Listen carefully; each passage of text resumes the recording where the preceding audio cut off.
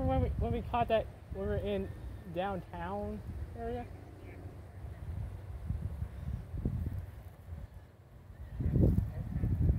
Yeah.